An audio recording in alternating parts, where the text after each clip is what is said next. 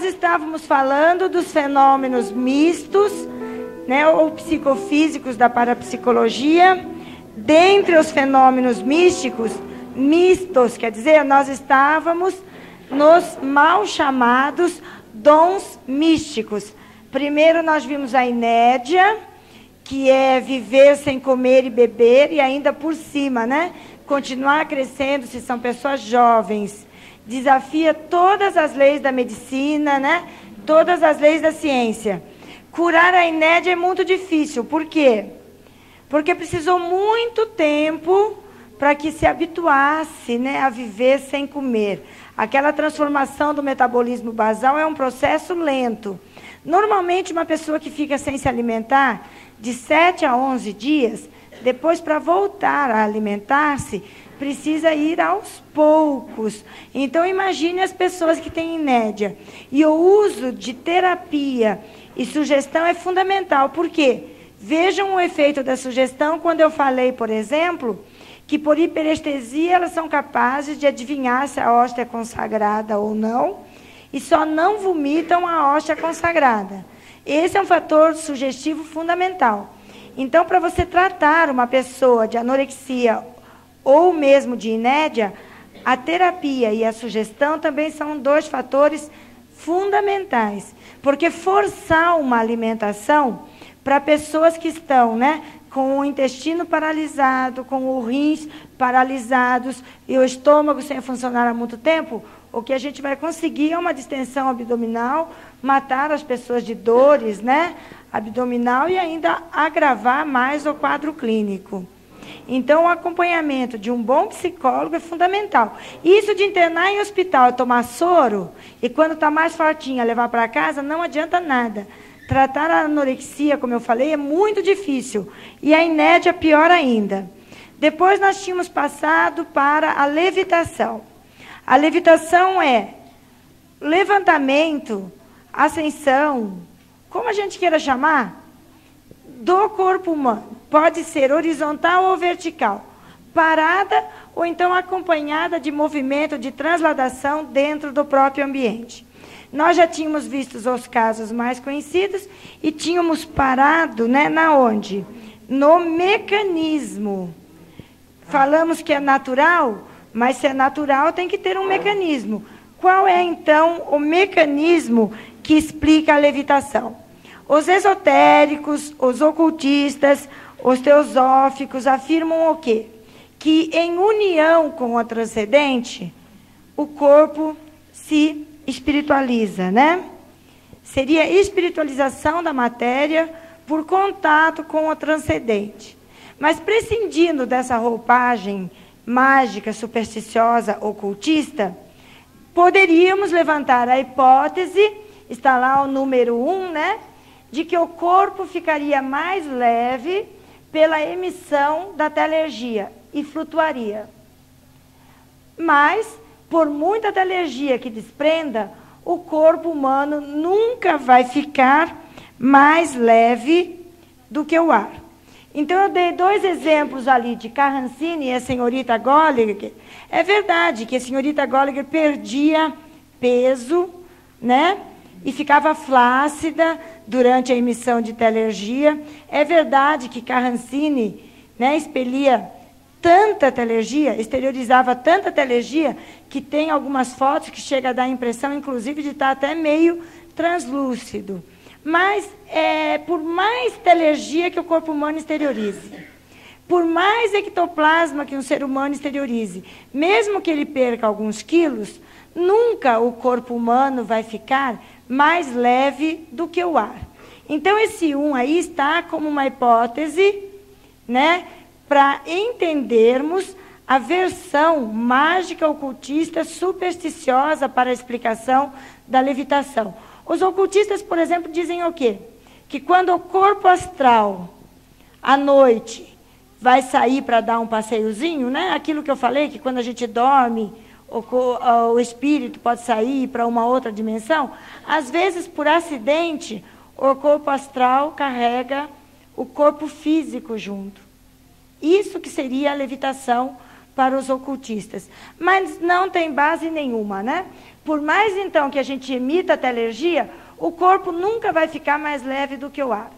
Então a levitação se explica assim por ação da telergia. Como? Vamos ver aí quatro possibilidades teóricas, né, de se explicar fisicamente a levitação por ação da telergia. No primeiro caso, nós vemos a telergia.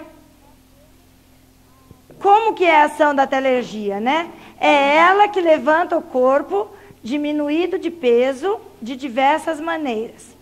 A. Sustentando. O que, que é isso sustentando?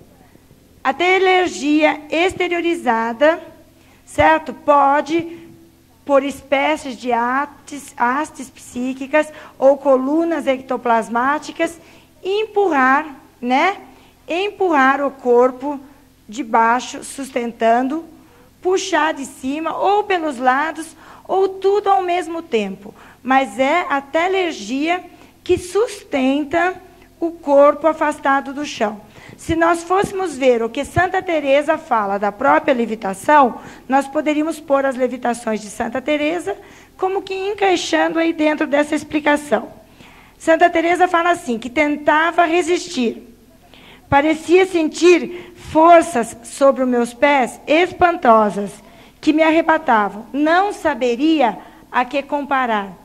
Parecia que lutava, né, com um gigante muito forte depois eu ficava moída, moída na expressão nossa quer dizer cansada, né? E assustada. Então a telergia pode sustentar o corpo humano com espécies de hastes psíquicas ou colunas ectoplasmáticas invisíveis. Entraria aí também outro exemplo, as levitações de São Felipe Neri, que dá o mesmo tipo de descrição. No B, o magnetismo e eu pus ali que a telergia é eletromagnética. Então, repeliria a atração da Terra. O que, que é isto? A Terra emite magnetismo. O homem emite telergia, uma energia corporal, somática, vital, que nós vimos que algumas correntes e pesquisadores disseram que era uma força análoga, parecida ao magnetismo físico comum. Então, se a Terra tem magnetismo e o homem tem magnetismo, se são duas forças iguais, o que, que acontecem? Elas se repelem. Então, por isso que seria possível a levitação. Nós poderíamos dar aí, então, como exemplo, as levitações de Daniel Douglas Home, que ele descreve as próprias levitações assim, que durante essas levitações ele nada sente de especial nele, a não ser a sensação de costume, cuja causa atribuo à abundância de eletricidade nos meus pés. Então ele sentia como se fosse, né, pelos pés que saíam a energia que empurravam ele do chão. Então repulsa por serem duas forças do mesmo signo. A terceira hipótese, que está ali o C, né? Que é a polarização interna dos corpos, que anularia o efeito da gravitação. É uma possibilidade teórica, mas muito remota, muito fantasiosa, muito difícil. Pouquíssimos cientistas aceitam. O que, que seria isso? Eu falei que a Terra e o corpo humano têm energias iguais e se repelem. Então, se pela minha telergia eu alterasse toda a energia do meu corpo, de modo de ficar com uma polaridade diferente da Terra, o que, que aconteceria? Então, evitaria, sim, o efeito da gravidade. Eu anularia né, o efeito da gravidade. Eu que tenho polaridade igual à da Terra, transformaria a minha polaridade em diferentes, né, e uma polaridade diferente a outra igual, provocaria o efeito de levitação, né, suprimindo o efeito da gravidade. É mais ou menos aceita, mas também não é a mais fácil de acontecer. As mais simples, então, seriam a primeira, as hastes psíquicas ou colunas ectoplasmáticas, que sustentam o corpo, ou então a letra D, que é imensamente mais fácil e muito mais plausível. Eu exteriorizo telergia. A telergia forma ao redor do meu corpo o quê? Uma espécie de campo antigravitacional. E seria como que eu estivesse dentro dessas cabines onde se faz experiências com astronautas. Ali dentro, né, estaria anulado o efeito da gravidade, só dentro daquele círculo. Então ali seria muito fácil que se flutuasse. Então podemos dar o exemplo da, Mari, da Madre Maria de Jesus, né, Maria Coronel Ágreda, que fazia esforços tremendos para não se levitar. Mas de repente, muito bonita, pálida, rígida, levitava no ar horizontalmente e as pessoas presentes, se fizessem assim, ó, assoprasse ou desse um simples toque, ela deslizava no ambiente como se fosse uma pena, flutuando. Então, para a física, para a física é tremendamente mais fácil, né? Para a física é tremendamente mais fácil aceitar o A, que é sustentando, e o D, que é campo antigravitacional. A B e a C não são impossíveis dentro da física, mas são um pouco mais difíceis de acontecerem. Conclusão: a levitação, então, é um fenômeno real, humano, né, parapsicológico, porque sai né? Vocês lembram a definição de parapsicologia? A margem do comum. Então, como a levitação é um fenômeno raro, a margem da fenomenologia comum é um fenômeno humano. Raro, mas um fenômeno humano. Não supera, não supera todas aquelas leizinhas que nós falamos a respeito de talergia.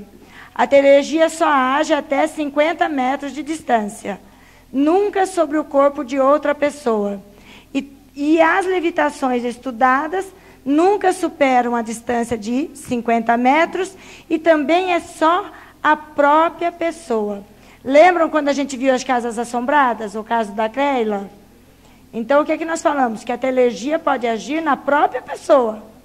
Então, eu posso levitar o meu corpo, eu posso levitar o meu corpo e, como é um fenômeno físico, é sempre a pequenas distâncias. Teríamos que diferenciar aí a ascensão de Jesus e a assunção de Nossa Senhora, que não tem nada de ver com levitação. Levitação é o corpo físico, né? O homem levitando no ar, desafiando a lei da gravidade. E Jesus e Nossa Senhora, os dois já tinham morrido de morte morrida. Então, o milagre é um foi de morte matada, né? Então, o milagre é que o corpo glorioso seja visto. Não tem nada de ver a ascensão e a assunção com levitação. O milagre é outro aspecto que acho que o padre Quevedo já falou em aula, se não falou ainda, vai falar, né? Que entra a morte clínica, a morte real, 21 dias, ainda está por aqui, mas tira o pé do acelerador e daí fica visível. Bom, vai ter uma aula inteira explicando isso, mas não tem nada a ver com levitação. O fato é que eu falei que as levitações de São José do Cupertino se tal como descritas, algumas poderiam ser sobrenaturais. Algumas. Mas não dá para voltar lá para analisar, né? Nós só temos alguns testemunhos de algumas pessoas. Mas o interessante, então, para a gente aceitar definitivamente que a levitação não é milagre, é só ver alguns exemplos que Deus não estaria por aí fazendo coisas ridículas. E com o próprio São José de Cupertino, numa oportunidade que ele levitou-se, subiu muito alto, Depois ele ficou lá em cima de uma árvore, tão alta, tão alta, tão alta, que ele não conseguiu descer. Teve que ser ajudado para ser tirado de lá de cima. Então custa um pouco a gente acreditar que Deus faria um milagre desse tipo. E tem também o Frei, como que é o nome dele? O Frei Justino de Hungria, que em 1445 também tinha levitações e êxtases e não entrava em acordo com o pessoal do convento, né? Porque ele queria ser ele queria ser o maioral. Ele queria ser o maioral, né? Então, êxtases e levitações. E depois, por soberba, vamos usar o nome certo, por soberba, por ele querer ser famoso e ter romarias ali ao redor dele e tudo, os superiores proibiram ele de aparecer em público e de fazer esse tipo de coisa. Ele abandonou a ordem e saiu. Continuou tendo os seus fenômenos, mas morreu no esquecimento, miserável, doente, louco e não é considerado santo. É, então, seria errado a gente dizer que enquanto ele estava no convento era milagre e divino. E depois que ele saiu do convento, continuava tendo os mesmos tipos de fenômenos e que daí já seria poder demoníaco ou qualquer outra coisa. Então, a levitação não é milagre porque não supera os limites, né, as forças psicofísicas da natureza. E vamos rapidamente agora, então, ver o último, né, dos mal chamados dons místicos. Se trata do estigma. É, já, até o, o Pedro lá já fez referência aos estigmas do, do Padre Pio, né? Então todo mundo sabe do que está falando. Os estigmas podem ser divinos. Nós pusemos lá adivinos. Dentro dos divinos, cristãos. E dentro dos cristãos, primeiro uma, uma divisão lá. Católicos. Então vamos ver primeiramente esses daí, os católicos. É considerado no meio católico, pelos autores tradicionais de mística, como milagre. Representam principalmente as chagas de Cristo, a coroa de espinhos e dificilmente as marcas da flagelação. E tem também estigmas dos anéis dos esponsais místicos. Então a santa se casa lá com Jesus Cristo e aparece no dedo né, o anel dessas bodas transcendentais. Então, principalmente, são estes os estigmas entre os católicos. Dificilmente os da flagelação de Cristo. Falam que o primeiro estigmatizado católico foi São Paulo, porque na carta aos Gálatas, né, ele fala que trago em meu corpo as marcas de Cristo. Durante os primeiros séculos da igreja, isso foi tomado no sentido figurado. E assim deve continuar sendo. Certo? Se trata mais mesmo da perseguição, né, feita cruelmente durante os primeiros séculos da igreja aos seguidores de Cristo. Era um estigma, vamos dizer assim no sentido figurado, ser seguidor de Cristo. Lembrem quantos mártires, tudo isso. Então tinha um sentido figurado. Falam que, de fato, historicamente, o primeiro estigmatizado comprovado foi São Francisco de Assis em 1224. Só em 1224, o primeiro caso de estigmatizado católico realmente comprovado. É claro que falam de hereges, apóstatas e loucos que já tinham sido condenados à fogueira, né? Ah, já que nós falamos de fogueira, vamos fazer aqui um parênteses. Na época que se queimavam as pessoas vivas, porque acreditavam que ela tinha pacto com os demônios, etc., também foi uma época em quem teve fenômeno de levitação, muitas vezes acabou morrendo na fogueira. Por quê? Vocês devem lembrar do costume da época. Se uma pessoa era acusada de bruxa ou de pacto com o demônio, às vezes uma das técnicas que tinha de tortura era você pegar a pessoa, dobrar pelo meio, né, fazer uma trouxa e amarrar os pés com as mãos. E assim, bem feito uma trouxinha mesmo, jogava no mar. A imensíssima maioria dessas pessoas morriam afogadas, é evidentemente.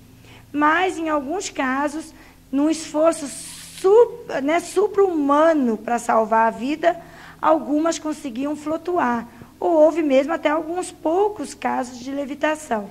E daí o que, que se falava? Que tinham sa sido salvas pelo poder do demônio. Então agora fogueira nelas. É, então se escapava da água, não escapava da fogueira.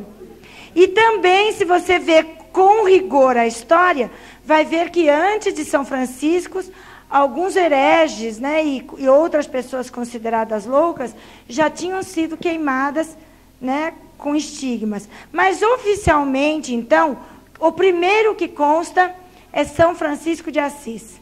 Os estigmas apareceram dois anos antes da sua morte e a geografia fala que o final da vida dele foi de muito sofrimento, que ele mal conseguia pôr o pé no chão porque os estigmas atravessavam os pés e as mãos de lado a lado. Então parece que São Francisco, né, foi o que serviu de modelo e de molde para todos os outros que vieram depois dele. A título de curiosidade, porque vocês gostam de rir e é bom acordar depois do almoço, né?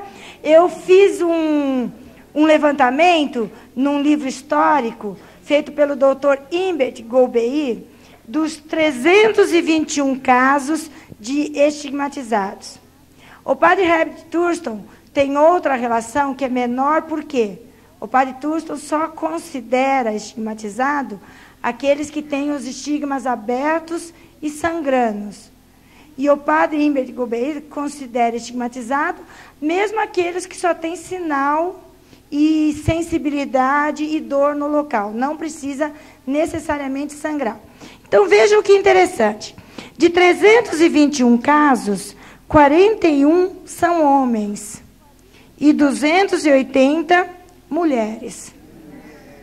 É, parece que se Deus fosse fazer milagre aí, era para privilegiar as mulheres. Outro dado interessante. Dos 321 casos, só 10, só 10 são leigos. 211 religiosos e religiosas. É, acho que lá no além também deve ter panelinha de protecionismo, né? Para fazer milagres só nos religiosos. Agora vamos então por seitas, né? Não, por seitas não, quer dizer por congregações. Batem o recorde, bate o recorde disparado na frente de todo mundo, 109 dominicanas, né? 102 franciscanas, 14 carmelitas, doze da Ordem da Visitação, oito agostinianos, três jesuítas, e depois um, um, um, um, um, e é claro, dez leigos nesse meio, que não vai dar tempo da gente ficar falando. Mas vejam que sintomático. A imensa maioria mulher e quase todos dentro da mesma congregação. Quer dizer que se for milagre, tem um departamento lá no além, onde vamos fazer milagre, onde dominicano estigmatizado. Né? Como se tivesse assim um departamento para dividir milagres. Mas entre os católicos mais famosos, quem que vocês conhecem? Eu já falei de São Francisco de Assis, outros. Santa Teresa, Santa Rita de Cássia, Ana Catarina Eimerich, Molly Fanger, Luiz Latô, Tereza Neumann, Gema Galgani, Ofrei Pio, de Pietralcina. E muito interessante, muito bonito, detalhe, a Santa Rita de Cássia é a minha santa de devoção. Cada um tem o seu, né? Eu sou devota de Santa Rita de Cássia. Mas entre os estigmatizados católicos, eu acho muito bonito o caso de Santa Catarina de Bolônia, que em 1445, na noite de Natal, teve uma visão de Nossa Senhora. E a Nossa Senhora apareceu com o menino Jesus no colo. Então deu o menino Jesus para ela. E ela deu um beijo com todo amor na criança. E o menino também beijou o rosto. E depois ela devolveu o menino para Nossa Senhora e a Nossa Senhora desapareceu, voltou para além. Mas só que o beijo ficou marcado no rosto como uma espécie de estigma. E interessante que o cadáver da Santa Catarina de Bolônia, que é incorrupto, vocês ainda vão ver, né, as incorrupções, que é incorrupto, ainda traz a marca desse beijo.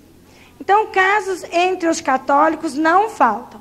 Mas vamos ver lá que não é só entre os católicos. Também entre os protestantes. Os protestantes não aceitam que o estigma seja sobrenatural, que o estigma seja milagroso. E apesar disso, ainda tem. O Arthur Otto Muck, que vocês verão nos slides, teve os estigmas dele da paixão de Cristo depois de um acidente na guerra. Procurou todos os médicos possíveis para se livrar disso. Rezava né, para que os estigmas desaparecessem, porque ele achava que era uma heresia e tinha medo de ser castigado. E depois se conformou com a missão de ser estigmatizado. Mas nunca aceitou como se fosse milagre.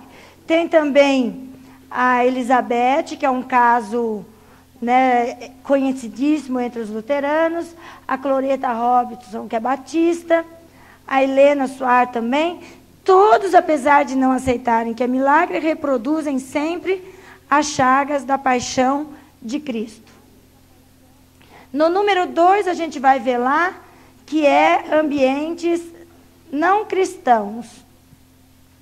Então, é, os maometanos, é comum a gente ver entre os maometanos estigmas né, também dos mesmos ferimentos que o, que o profeta recebeu em batalha. Mas vamos já passar aos casos que não são divinos, né? Que o A era divinos, o B diabólicos na bruxaria. São mais bonitos, mais criativos e mais diversificados do que os divinos. Podem ser de arranhões, claro, porque o diabo vem com aquelas unhonas, né? Manchas, sinais de garras e tridentes, mordidas e também até as chamadas partes insensíveis da época da Inquisição eu falei da tortura às bruxas, né? Você pega uma bruxa com uns alfinetes e fica espeta, espeta, espeta, espeta. A pessoa grita e reage à dor. Num determinado momento, por exaustão, não grita mais. Então, quando espetasse num lugar e não gritasse, achou o ponto insensível. E isso era prova de pacto com o demônio e mandavam para a fogueira. Então, até partes insensíveis. E vocês ponham muita imaginação, muita imaginação, certo? Qualquer deformidade, qualquer cicatriz servia para ser considerado como marca do demônio. Então, no livro. Como é que chama aquele livro famoso? Ah, Erotismo e Feitiçaria trazem exemplos muito engraçados de estigmatizados atribuídos ao demônio. Exemplo: um marido acho que para quebrar a monotonia do casamento, né? Na penumbra, pôs uma máscara de demônio, invadiu o próprio quarto e teve relações sexuais com a esposa, aterrorizada, a coitada da esposa.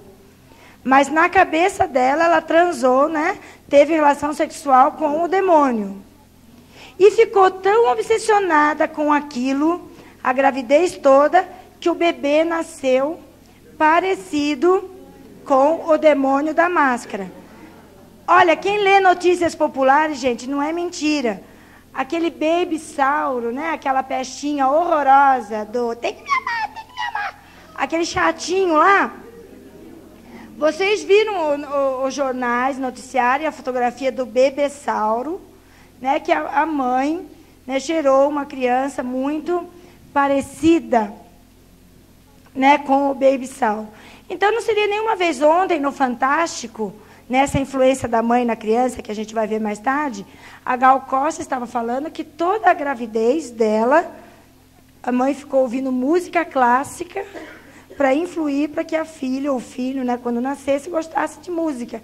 E ela fala que ela já nasceu gostando de música e toda a vida dela só se ocupou disso e toda a inteligência dela ela só dedicou à música. Então não é a primeira vez que se fala. Mas só para vocês terem uma ideia, até as pintas, né? As pintas que a gente tem, eu que sou branca, então geralmente sempre a pessoa de pele muito branca tem uma pinta ou outra bem escura. Explicação dentro da demonologia. Como o diabo, né, como o demônio, seja lá como a gente queira chamar, não pode vir mamar direto na glândula mamária, que as pintas são outros mamilos disfarçados, camuflados, para o demônio poder chupar à noite. Imaginem, imaginem. E, mas como é, acharam engraçado. Mas como eu estava dizendo, então, como eu estava dizendo, então, os estigmas atribuídos ao demônio acabam sendo muito mais curiosos, muito mais bonitos e muito mais interessantes. Tem aí os exemplos de Eleonora Zugon. Esta tinha a das cordas que o demônio amarrava, as chicotadas que ela levava e também de mordidas. Mas a mordida clarissimamente truque, porque só tinha onde ela mesma alcançava. Nunca aparecia nenhum sinal de mordida onde a boca não alcançasse. E por que, que eu pus o outro exemplo logo do lado, Clarita Villanueva? Porque esta sim, na frente até de pessoas, às vezes a polícia, no meio da rua, ela apareceu com sinal de mordidas pelo corpo todo, até em local que ela não conseguia alcançar, e ela atribuía ao poder do demônio. Agora, esse negócio de pele é um negócio muito estranho. Tem gente que tem aquele tipo de pele assim, que você segura a pessoa pelo braço, segurando um pouco mais forte, depois no local já fica roxo. Sendo um mosquitinho, você coça um pouquinho, quando você olha a pele, tá aqueles vergões, né? Tá aqueles vergões da unha. E tem pessoas que têm mais facilidade para somatizações na pele. Então, se o professor está escrevendo na lousa e sem querer faz isso aqui, ó. Sempre algumas pessoas reagem já com arrepio. Então, é indiscutível que tem pessoas que têm mais facilidade, né, para estas somatizações na pele ou mesmo erupções, alergias, etc. Então existe realmente uma tendência a esse tipo de coisa. E interessa aí para a gente também no C, mas depois a gente volta nisso aprofundando, que tem casos sem conotação religiosa nenhuma. Não tem nada a ver com religião.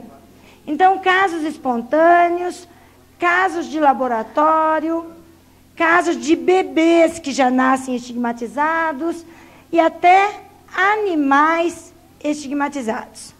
Então, como sempre, né, a nossa primeira observação é se o fenômeno tem em todos os ambientes, em todos os ambientes eles devem ter as mesmas causas. Então, nós já estamos passando para um outro item aí, que é o item 2, a análise científica, que é isso que a parapsicologia tem que fazer. A pessoa está com tal fenômeno, eu vou lá, eu vou analisar e vou tentar explicar. E o que, que se viu? Que muitos dos estigmas eram considerados normais. Normais em que sentido? Depois nós vamos ver que todos são normais. Mas normais em que sentidos? Na verdade, não eram estigmas. Na verdade, não era estigmas. Do que, que se trata?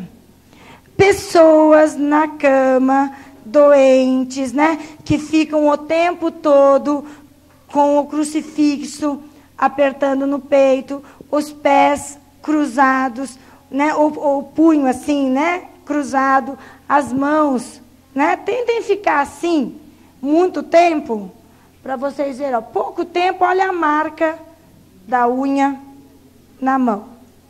Então, com responsabilidade ou sem responsabilidade, consciente ou inconsciente, não importa, acontecem que pela posição dos pés, pela posição dos crucifixos que usam, né, por fatores diversos, eles aparecem durante o êxtase de maneira muito natural, que não tem nada a ver com fraude e que não tem nada a ver também com os verdadeiros estigmas. Mas antes da gente passar por estigmas verdadeiros, precisamos conhecer os fraudulentos. Infligem-se a si mesmos artificialmente.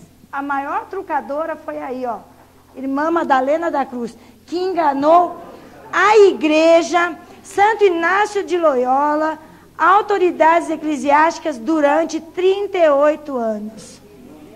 Até que foi pega, certo? Até que foi pega e daí foi condenada pela Inquisição ao confinamento. Esta foi a maior trucadora entre os católicos. Mas só que existem muitas técnicas que eu vou ensinar vocês, se vocês quiserem juntar aquilo que eu tenho brincado aí de vez em quando, né? Os truques que o Roberto Amadu ensina no livro Os Grandes Médiuns para fazer efeitos físicos. Com a diplominha do curso do CLAP e mais alguns estigmas artificiais, qualquer um aí dentro pode fundar uma religião nova. Porque ninguém vai pedir nem que morra e nem que ressuscite no terceiro dia, para a gente ver se estava falando verdade ou se estava falando mentira. Fazer estigma fraudulento é muito fácil. Você pode usar objetos cortantes, líquidos corrosivos, metais incandescentes, fricção com chumbo, nitrato de prata, etc. E engana tão bem, tão bem, que alguns ficavam com a aparência de serem antigos e até aparente gangrena, que em alguns casos teve membros que foram amputados porque se achava que tinha gangrena. Então, trucar, trucar é muito fácil, né? Trucar é muito fácil. Só que os estigmas verdadeiros, eles nunca aparecem instantaneamente. E instantaneidade não é um dos requisitos para se considerar uma coisa milagre. Tem que ser instantâneo. E nenhum caso de estigma foi instantâneo. Todos têm lá, olha, evolução. Evolução. Então vamos ver a evolução de alguns dos estigmatizados famosos. Só São Francisco, não. Começaram a aparecer dois anos antes, certo? E não aparece todos de uma vez. É igualzinho o Frei Pio também. A gente vai ver, primeiro sente dor, depois é que começa a sangrar. Oi? A gente vai ver. Ela está perguntando o que, que fazem os místicos, o que faz os místicos trucarem. Daqui a pouco a gente chega.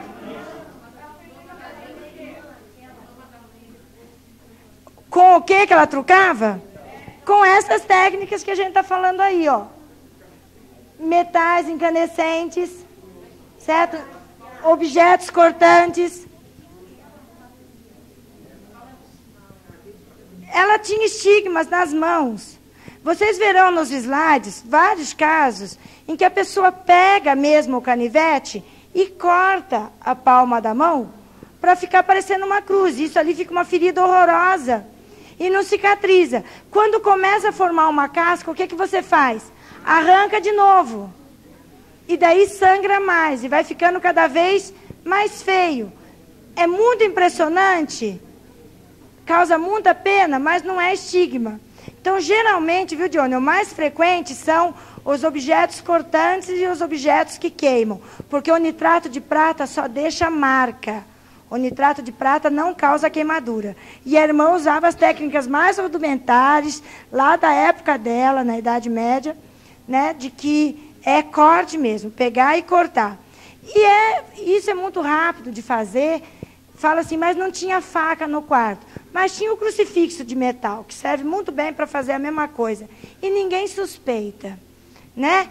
E se vocês não espalharem, em questão de fraude, não de estigma, que eu nunca tive, mas para outras doencinhas eu já fiz.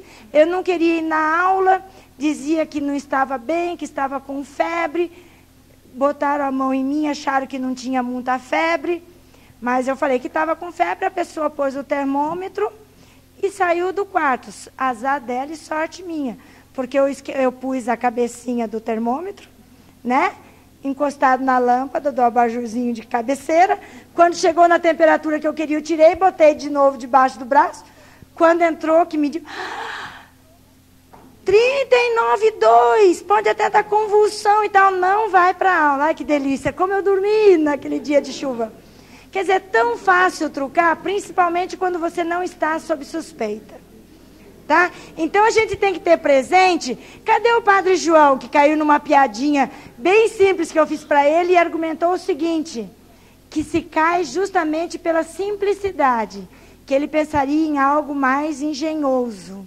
E quando a gente pensa no truque, vai ficar tão preocupado com as coisas muito engenhosas, muito difíceis, mas como que a pessoa teria nitrato de prata lá, que esquece da fivelinha do cinto, do hábito de, de freiro, uma fivelinha de sapato, e mil e um objetos cortantes que podem ser usados para provocar. Mas vamos para frente, que para não perder o fio da meada, que nós estamos aí no na evolução, né? Na evolução dos estigmas. Verônica Giuliani, aos 33 anos, a coroa de espinhos. Dois anos depois, o estigma do lado do coração. Só aos 37 anos, né? A mão e os pés estão furados. São Francisco de Assis começou aos 42 anos. Começou com excremências carnudas e enegrecidas nas mãos e nos pés, lembrando marca de pedras. Tinha também chagas vermelhas do lado direito. Só depois é aquilo que eu falei, né? De começar a sangrar, de atravessar os pés e as mãos, e os últimos anos dele foram de muito sofrimento. O Padre Pio começou em 1910, primeiro eram invisíveis, só tinha sensibilidade, só três anos depois é que começou a sangrar e a sentir dor. Ana Caterine Emmerich, mesma coisa, levou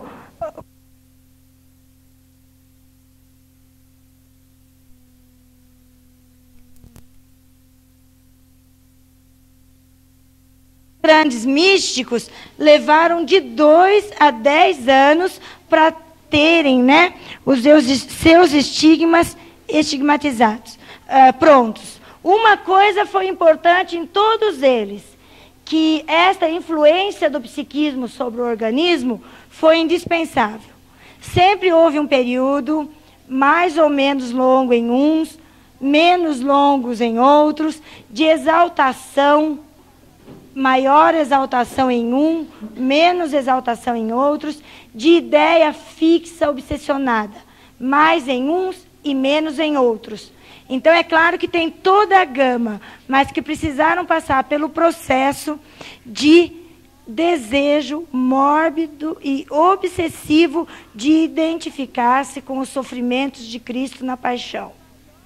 Em maior ou menor grau, Todos os grandes místicos passaram pelo mesmo processo, né, que a gente chamou ali de influência do psiquismo sobre o organismo. Então, não faltou na igreja grandes inteligências, como Santo Tomás de Aquino, Bento XIV, Dom Calmette, Francisco Soares, Avicena, Paracelso, Jordano Bruno e o padre Herbert Thurston, jesuíta, que falam o quê? Que a origem é puramente natural, não ultrapassa né, as forças psicofísicas da natureza. Então, se é natural, nós temos que provar que é natural. Então, vamos rapidamente ver a comprovação, ali o número 3, da naturalidade do fenômeno. Primeiro, pontos comuns com fenômenos psicossomáticos. Somatização. Vocês verão no slides um caso de um senhor que, por susto, teve um choque muito grande, instantaneamente, em uma hora, todos os cabelos ficaram brancos. Vocês verão no slide, certo? Nós podemos falar de somatizações mais simples. Mais simples, aquela de corado e de pálido, certo? De mão suando, de coração batendo. Mas isso de pálido e corado são somatizações simples, mas são somatizações de emoções eu chego para a pessoa e falo assim: Sabe o que, que eu vi? A pessoa falou o quê? Seu marido com uma outra se beijando ali na esquina. Umas ficam vermelhas de raiva, somatização de emoção, e outras ficam brancas de susto, somatização de emoção. E chegam até a desmaiar. Então, tem muita coisa em comum com os vários processos de somatização. E é importante a gente saber que todas essas coisas de pele, como eczemas, verrugas, urticárias, são todas, todas, todas facilmente influenciáveis pelo psiquismo. Tanto é que o que existe de simpatia para fazer cair verruga, se fosse escrever um livro, dava mil páginas. O Dr. Fred já explicou bem que o poder não é da simpatia, o que é? É daqui né? A pele é facilmente, né, influenciável pelo psiquismo. E também esta região do epigástrio. No filme O Exorcista, vocês lembram da cena onde aparece escrito na pele, saliente assim, a palavra help me, so, ajude-me, né, socorro. É o demônio que está pedindo ajuda? Não, era a menina. Então o inconsciente faz essa dramatização e aparece escrito na pele, né? Aparece escrito na pele a palavra help me. O doutor Vitor contou aqui, quando ele estava falando da hiperestesia direto, da hiperestesia direta, aqueles exemplos feitos com baralho, que a pessoa estava doente na cama, então, fica mais sensível, fica mais esgotada, mais facilmente as faculdades parapsicológicas se manifestam. Então, o pesquisador, na frente de várias testemunhas, embaralhava o baralho e, ao acaso, ele pegava uma carta que ninguém via. Nem ele, nem as testemunhas, e muito menos a doente. Porque se ele via, o conhecimento poderia ser o quê? IP. E não era IP que ele queria provar, ele queria provar o quê? HD. A hiperestesia direta, né? Então, punha uma carta aqui na pele da pessoa, no abdômen, e a pessoa falava que carta que era. Por quê? Uma sensibilidade tão grande aqui na pele do abdômen, que essa mínima, mínima, né, vamos dizer assim, mínima diferença de relevo entre uma carta que não tinha cor nenhuma e foi passada na tinta branca e depois foi passada em outra máquina, por exemplo, para imprimir o sete de ouros, então, esse mínimo que se a gente pega, não consegue né, perceber, uma pessoa era capaz de perceber pela pele. Temos aqui o César, que poderia dar muitos testemunhos para nós, da sensibilidade dos cegos, que são capazes de andar desviando de obstáculos pela vibração né, sonora que captam, pelo calor que as pessoas emitem, pela vibração do ar, pela vibração do solo. Já tentaram lembrar ele, gente? Tenta, fecha o olho e põe ali. É dificílimo. E entendeu o que o Cid Moreira está falando no Jornal Nacional? com a televisão sem som? É dificílimo. No entanto, os deficientes, né, auditivos, né, aprendem de uma certa maneira a ver o movimento dos lábios que conseguem. Então não vamos nos pôr para entender os fenômenos sempre nas nossas condições. Vamos lembrar de tudo o que já foi citado até aqui, que às vezes fica mais fácil a gente entender um fenômeno. Então, principalmente na pele e na região do epigástrio, que é onde se somatiza o que também? Úlcera, gastrite e tal, é que mais facilmente ocorrem as dermografias. Então, tem pontos em comum com todos os fenômenos psicossomáticos de somatização. Casos espontâneos. Só um exemplo de caso espontâneo para não perder muito tempo. A senhora Cal, russa, de nacionalidade russa, mas que vivia em Paris, pesquisada pelo Dr. Osti, ouviu dizer que na Índia alguns faquires eram capazes de reproduzir o pensamento na pele. E ela resolveu tentar. Então ela pensou num ramo, num raminho, numa, num galinho de planta. E pouco tempo depois, esse galinho de planta apareceu delineado na pele. Acredito que vocês já viram também nos slides, nos extra normais, as experiências com a mesma senhora Cal, já em laboratório, feitas com o Dr. Oxi, de hiperestesia. Então, o doutor Oxi pensava uma coisa, ela tinha que adivinhar por hiperestesia e aparecia escrito na pele aquilo que o doutor, né, uh, Oxi tivesse pensado. Então, numa determinada ocasião, ele pensou a palavra rosa. O que, que apareceu escrito na pele? Ro. Numa determinada ocasião, ele pensou a palavra Sabine, né? O que que apareceu? Assim, ó.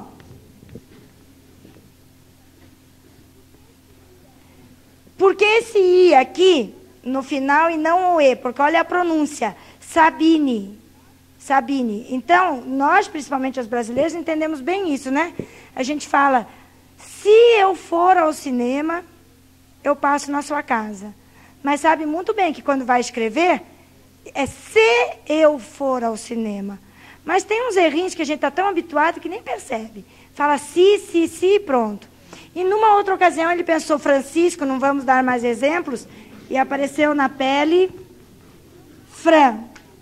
Então, clarissimamente, a Madame Cal era capaz não só de captar por ípio o que ele pensava, mas de fazer aparecer escrito na pele aquilo que ela pensava. E outras experiências feitas em laboratório, com o Dr. Lechner, com o Dr. Binet, com o Dr. Janete e vários outros, conseguia fazer desaparecer verrugas, furúnculos, estigmas, iam e voltavam pelo poder da sugestão.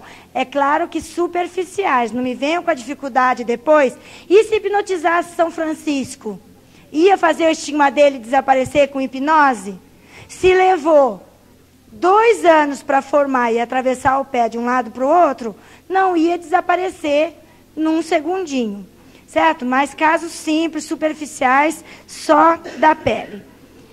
E esse caso da sugestão, esse caso da sugestão aqui, ó, em laboratório, que com sugestão e hipnose, né, provocou equimose, furúnculo, estigmas e queimaduras que iam e voltavam, é muito importante para a gente entender o fator da sugestão aqui no caso de Santa Rita de Cássia, que já tinha os estigmas na fronte há sete anos, purulentos, né? E ela queria participar da festa lá do Jubileu de Roma de 1450. E a superiora falou o quê? Com isso aí na fronte? Não. Então ela rezou para Deus pedindo que suprimisse o estigma. Deus que tinha feito um milagre para aparecer o estigma, fez outro para desaparecer. Ela foi na festa e depois que ela voltou da festa, fez de novo outro milagre para ela ficar estigmatizada de novo. Gente, por favor, né? Acha que Deus vai estar tá aí com esse tipo de brincadeirinha de vai e vem?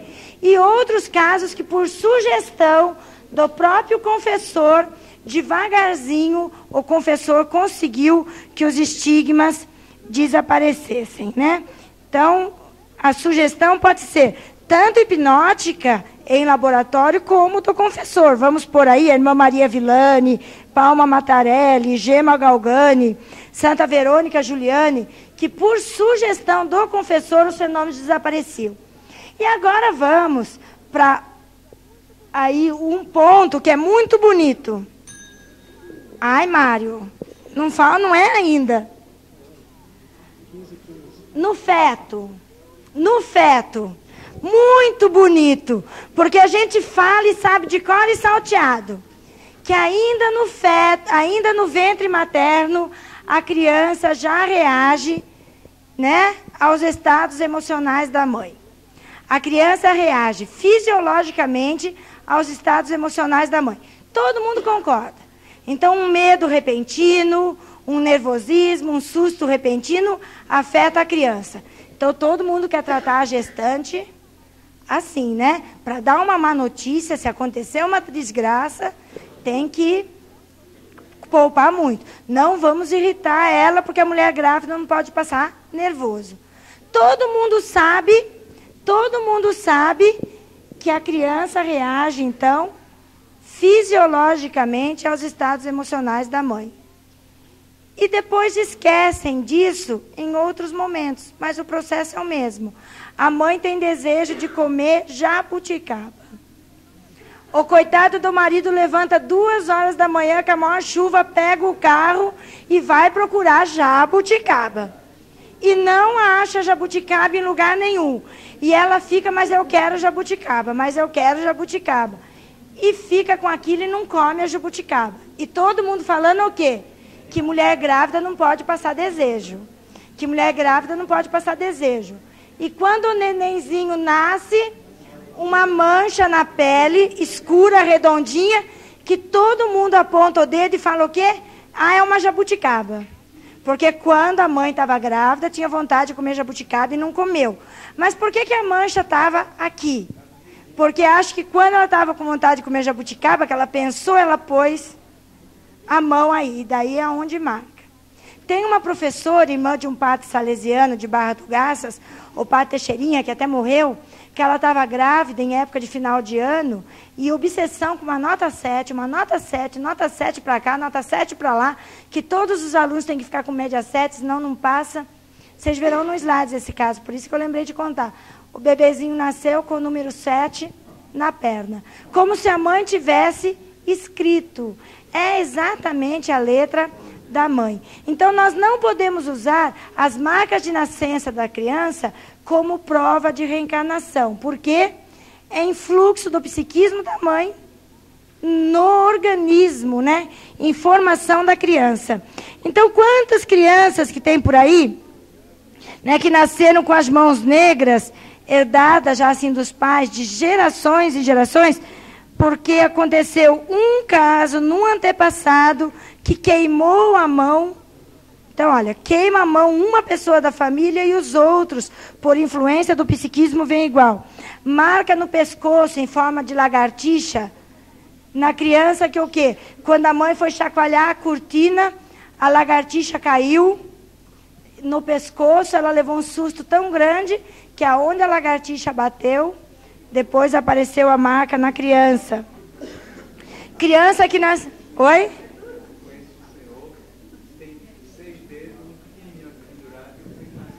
É, ele conhece um caso de um senhor que tem de seis dedos, e o filho igualzinho. Mas tem uma mulher, olha que coisa mais simples. Ela ficou tão impressionada quando viu um tintureiro com a mão azul, que estava mexendo numa coisa de tinta, Olha, parece absurdo, mas ela se influenciou de uma tal maneira que a criança depois nasceu com a mão azulada. E não é nenhum ou dois casos que a mãe né, assiste, por exemplo, uma execução em praça pública e a criança nasce com a marca da guilhotina no pescoço. Então, o que, que é? Vamos repetir a frase? Influxo psíquico da mãe fisicamente, né, no corpinho da criança, que ainda está em formação. A criança e a mãe é uma só. Mesmo depois que nasce, que corta o cordão umbilical, ó, olha até esses dois se separarem. Mas quando estão lá dentro, é um que come, um que respira pelos dois. É um conjunto só. Então, bem fácil de entender né, a demografia em crianças. Vocês imaginem só o susto que leva o marido, né? Se ele tem um filho com a cara de um outro que não tem nada a ver com ele. Poderia ser, sim, senhor. Como o baby sauro que eu falei, vocês estão vendo o nosso preconceito? Nós não somos nada científicos. Quando eu falei do baby sauro, por ser um personagem científico, um bonequinho de borracha de Hollywood, todo mundo acha que a mãe pode se impressionar de tal maneira e o bebê nasceu, o jornal noticiou aí, ninguém duvida. E por que não? Parecido com uma outra pessoa, um artista, um vizinho, um parente distante.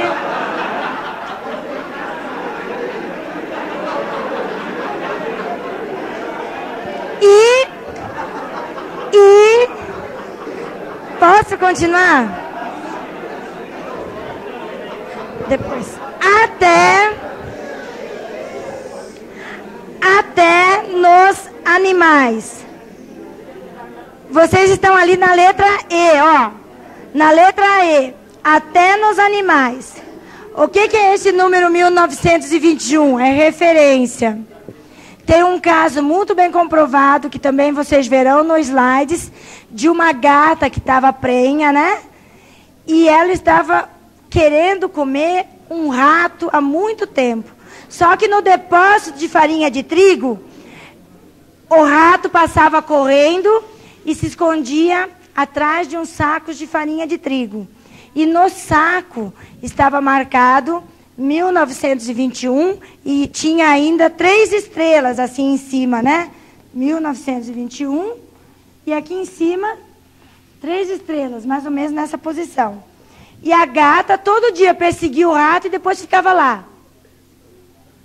Todo dia, um dia, dois dias, três dias. Quando o gatinho nasceu, né, a ninhada nasceu, entre, entre eles tinha um que era malhadinho, né, assim, branquinho e pretinho, e não foi nenhuma novidade que, em vez dessas manchas do pelo serem ao acaso, reproduzem o número 1921 e as três estrelas em cima. Vocês verão nos slides também. E depois tem casos mais curiosos, né? De, de uma galinha. Vocês vão rir porque parece até conta de mentiroso que ficava sempre olhando um relógio, um relógio, um relógio, e começou a botar ovo com o desenhinho daquele relógio na casca. Então isto, de o que impressiona muito a visão, um estímulo, um estímulo externo poder ser reproduzido no feto em formação, não tem nada de milagre, certo? Acontece com bebês, acontecem com crianças. Agora vejam bem, a delicadeza de um estigma que eu contei numa criança, de nascer com a marca certinha de um número 7, imitando a letra da mãe. Um cachinho de uva, porque a mãe teve vontade de comer uva. Uma lagarta. O número 1921 aí, numa gatinha. Será que nós teríamos muita dificuldade agora, então, para entender o estigma no chamado místico católico? Claro que não. O processo, o processo é muito parecido. Então vamos ver aí o mecanismo, o mecanismo da da como chama? O, o mecanismo dos estigmas. É neurose histérica, certo? Complexo de crucificação. Aquilo que eu falei. É claro que muda muito de um para outro, né, gente? Não é em todo mundo igual. Uns mais, outros menos. Mas eles passaram por um período muito grande de autossugestão, onde eles imploram que se reproduzam neles, né? As marcas de Cristo. Querem tanto se identificar com Cristo na paixão que pedem que se reproduzam neles as marcas de Cristo. Então, depois desse período de exaltação, mais ou menos violenta, não preciso repetir, o que que vem? A somatização. Como que chama a somatização de um estigma? Neuropatia estigmática. É poder despótico que o psiquismo tem sobre o organismo. Eu fico tão obsessionada com uma ideia que esta ideia somatiza no meu corpo. A ideia chama complexo de crucificação, a somatização neuropatia estigmática. Qual que é a explicação fisiológica? A vasodilatação, né, que provoca a congestão local dos vasos, o rompimento, né, desses vasos que tem congestão e a destruição da pele. Então, por isso que eles sangram. Agora, veja interessante, como qualquer machucado, como qualquer machucado, quando eu esfolo o joelho, por exemplo, dá uma hemorragia local e ele sangra. O contato com o ar, o que que faz? A água que eu passo, o sangue para. E o interessante nos estigmas, tanto é prova que é poder do psiquismo, que eles continuam sangrando, apesar de um tempo depois de abertos. Então, a explicação a, a psicológica é somatização, né? Poder despótico do psiquismo sobre o organismo. A fisiológica, vasodilatação, o rompimento desses vasos e a destruição da pele. Nós temos outros argumentos ainda a favor da explicação natural. A histeria no sentido médico, aquilo que eu falei, que as mulheres são muito mais sugestionáveis. Vamos ver esse dado aí, porque esse dado é interessante. Dos 321 casos, só 61 foram canonizados. E não por causa disto, apesar disto. E dos 321 casos, pasmem, né? Eu já falei, 280 são mulheres, muito mais sujeitas à histeria. A influência de São Francisco de Assis, estigmatizados aparecem assim em massa só depois do século XIII. Agosto do consumidor. O que é isso, agosto do consumidor? Em todos os ambientes, eu já falei, né? Tem nos gatos, em laboratório, no feto demoníaco, então não precisa nem explicar. Mas o que, que é esse agosto do consumidor? Lembram da freirinha que eu falei na aula de manhã? Que ou está olhando o Sagrado Coração no fundo do prato de sopa, ou ergue o olho para enxergar Jesus crucificado. Então, o que, que é que ela vai reproduzir como estigma? As imagens que ela tem na frente dela, onde ela faz as orações, onde ela faz as reflexões. Todos os estigmatizados têm os estigmas onde? Na palma das mãos. Porque assim são feitos as imagens de Cristo. O prego é aqui. O prego é aqui. E nós sabemos pela pesquisa histórica que o prego de Cristo foi aqui, nesse buraco aqui, porque senão não aguenta o peso do corpo. Será que Cristo não ia saber onde foi o prego dele? Para se tivesse que fazer um milagre, pelo menos fazer o estigma no lugar certo. Ana Catarina Eimerich, que aparece uma, o estigma de uma cruz no peito. Coincidência? Muito mais do que coincidência. Mas olha o formato do, do crucifixo que ela tinha, de estimação que acompanhava ela desde pequenininha. É estes poucos crucifixos que, tem que Cristo está com um pé sobre o outro, com os dois braços para cima, e não é em forma de cruz, é em forma de Y. Então, sempre os estigmas reproduzem o quê? A imaginação do místico. A imaginação do místico. Por isso esse termo aí, a gosto do consumidor. Concluindo, é um fenômeno parapsicológico? É, porque está à margem né, dos fenômenos comuns. Já falamos da ideoplasmia, que é a ideia plasmada. Aquilo que o místico acredita que seria a chaga de Cristo, onde foi. Ele tem um amor tão grande, ele deseja tanto se identificar com Cristo, que ele pede que se reproduza nele. É quase como se ele quisesse poupar o sofrimento de Cristo. Quem é mãe sabe isso muito bem. O filho vai operar? Se eu pudesse no lugar dele. Se eu pudesse passar o que ele está passando. Então, o amor do místico é tão grande que ele quer se identificar tanto com a paixão de Cristo que ele acaba reproduzindo nele. Isto é ideoplasmia, ideia plasmada. Então, não entra no caso da fisiologia comum, é parapsicológico.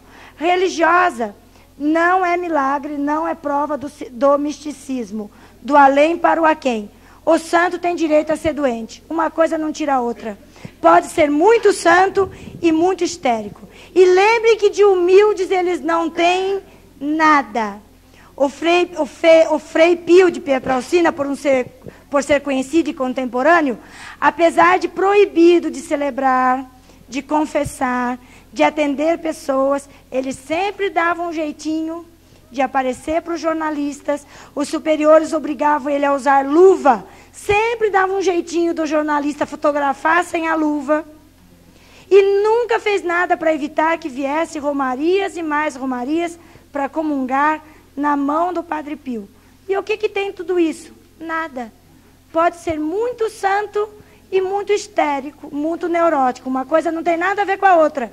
Lembrem que lembre, lembre, lembre que lembrem que o estigma, né, supõe uma neurose, mas nem todos os neuróticos, né, têm estigmas. E tanto é que é poder despótico do psiquismo sobre o organismo que vocês verão nos slides como durante a agonia o Frei Pio não podia mais ficar com aquela ideia obsessionada, certo? Foi tirado fotografia nele, dele no caixão, onde foi tirado a meia e foi tirado as luvas, com a morte durante a agonia, certo? Onde não consegue mais pensar a mesma coisa, desapareceram e cicatrizaram os estigmas. Mas vocês verão isso nos slides. Eu só queria deixar claro, porque meu tempo acabou, que não é desmérito nenhum. Certo? A pessoa é considerada santa por milagres que Deus faz em honra dela depois da morte e pela heroicidade de vida. Não tem nada a ver com estigma, nem com levitação, nem com inédia, nem clarividência. São canonizados apesar disso e não por causa disso. Certo? Essas pessoas deveriam ser tratadas repetindo aqui a palavra do Jean Lermite, para encerrar, né, porque nós não voltamos mais nesse assunto, o Jean Lermite fala assim, que essas pessoas não estão representando comédia, não fazem nada em plena consciência e com liberdade. O dever do médico é livrar os doentes, se necessário, até com os mais drásticos meios, livrá-los das suas psiconeuroses e tratar essas infelizes pessoas com compreensão e incansável caridade, porque elas estão cheias de amor a Deus. Então, de nenhuma maneira essas pessoas foram tratadas aqui de maneira pejorativa ou de destrutiva. O fato delas terem fenômenos naturais não nos dá o direito de dizer que não são santas. Doentes, sim, mas muito santas. Gente, muito obrigada e até mais tarde na hora do debate.